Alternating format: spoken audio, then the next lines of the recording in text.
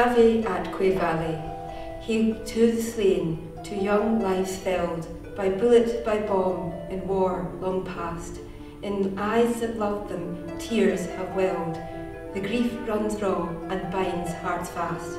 The spectre, the wind howled shrill, the panes to lash, and ripped my mind from dreams and rest.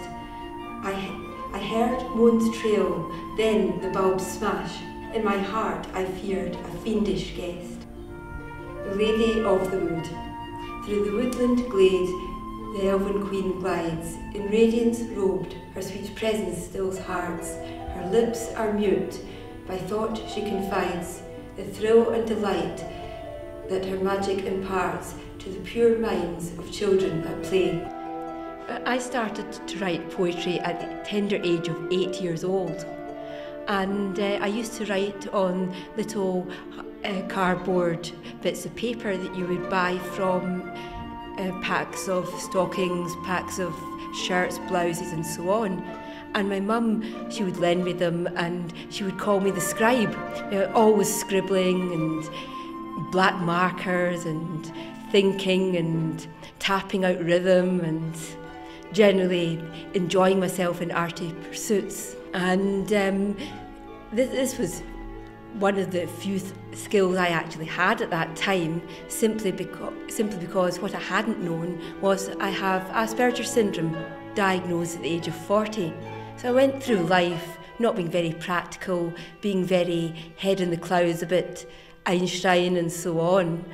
But having Asperger's itself hasn't stopped me from enjoying myself, holding a microphone, doing um, open mic with large audiences, being hauled up onto the stage at times to translate for people impromptu without any warning. And I really feel I'm a moth to um, the limelight. Um, now, the poems I have actually read out in extract are from a book I published called Lyrical Musings. And if you want to read the whole poem, you can purchase that for the price of £5.78. Now, the, the book I self-published from a company called Lulu.com, which is actually, it was, it cost me uh, £200 to produce that. And it was very easily done. You upload all your files and they will take a PDF form and you can change them if you want.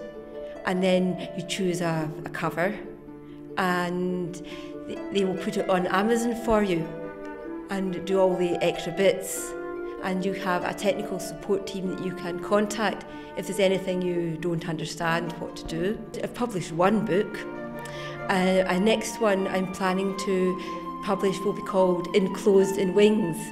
And at the moment, I've um, been accumulating all the, all the poems on a site called Blogger, eBlogger, and it, will, it counts all my files, so I know exactly how much I have. And my target will be 68 poems. Uh, keep up to date to find out when it will all be available.